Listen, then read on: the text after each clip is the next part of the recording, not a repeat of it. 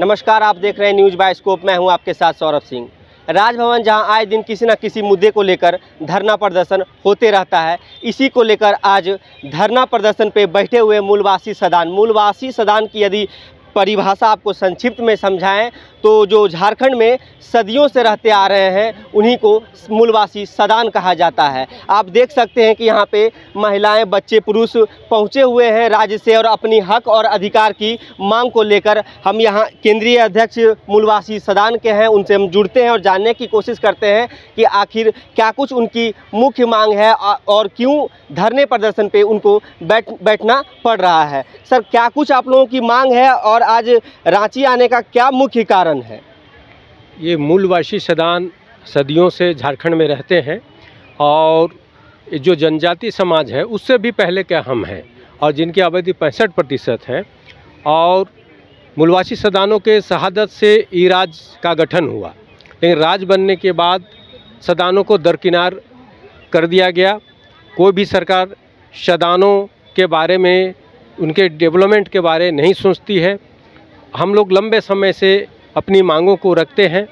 जब ये राज के लिए आंदोलन हो रहा था तो जब जनजातीय समाज अकेले लड़ते थे, तब ये संभव नहीं हो सका। जयपाल सिंह मुंडा ने आदिवासी महासभा को इसके लिए भंग किया था। वो जानते थे कि जब तक मूलवासी सदान इसमें नहीं जुड़ेंगे, तब तक ये राज नहीं बनेगा।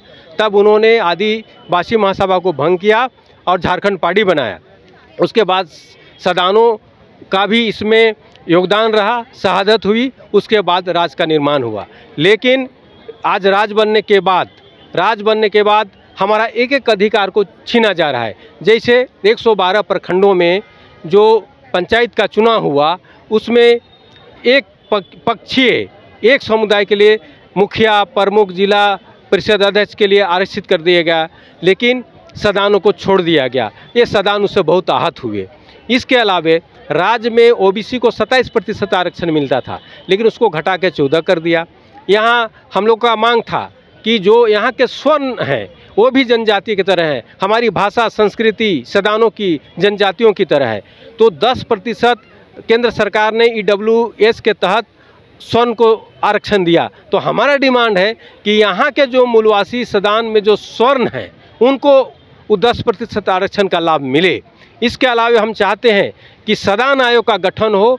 सदान आयोग का गठन होने से उनके विकास के लिए वो सरकार की योजना बनेगी और आयोग के निर्णय पे सदानों को डेवलपमेंट के लिए काम होगा। इसके अलावे हम बताना चाहते हैं कि लोकसभा और विधानसभा बहुत सारे ऐसे हैं जो आरक्षित होने के कारण हमारा प्रतिनिधित्व नहीं हो हो सकता है।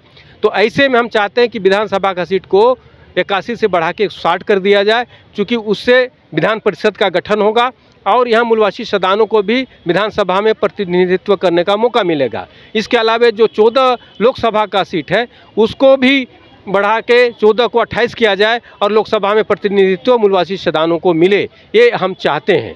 और इसके अलावे हम बहुत सारे मांग, मांगे हैं जिसको मैंने केंद्र सरकार के अधीन भी है और राज्य सरकार के अधीन भी है।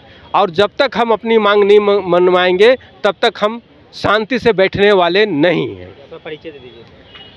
राजेंद्र प्रसाद केंद्रीय अध्यक्ष ने आहुति दिए और आज जल जंगल ज़मीन पर देखिए कि बाहर वालों का अधिकार है। तो हमारा यही मांगे हैं कि जल जंगल ज़मीन में हमारा भी अधिकार हो।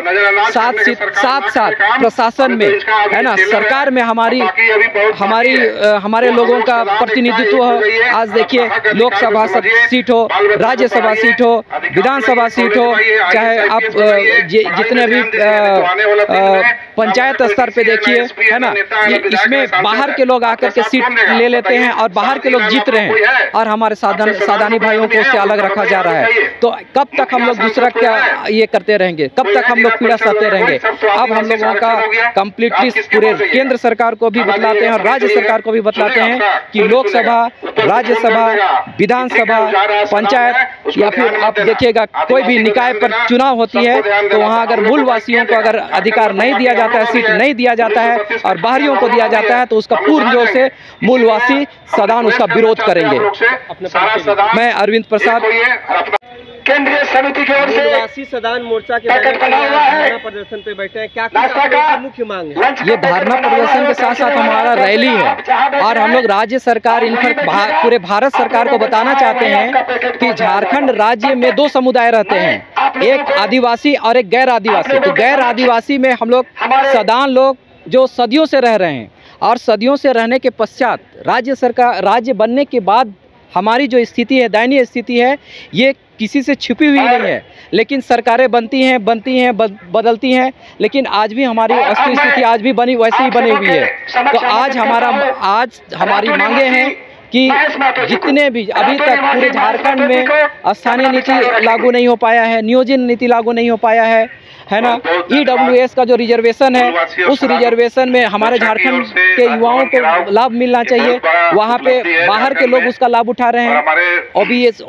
ओबीसी की जो आरक्षण है ओबीसी का आरक्षण आप देखिएगा केंद्र सरकार का जो निर्देशन है 26 छत्तीस प्रतिशत होना चाहिए। लेकिन आज यहाँ पे झारखंड में घटा करके चौदह परसेंट कर दिया गया है। जबकि आप जनसंख्या के आधार पर देखिएगा तो ओबीसी की संख्या 50 प्रतिशत से अधिक है। तो हम लोगों की मांग है कि 50 प्रतिशत से अधिक होना चाहिए हम लोग ओबीसी का।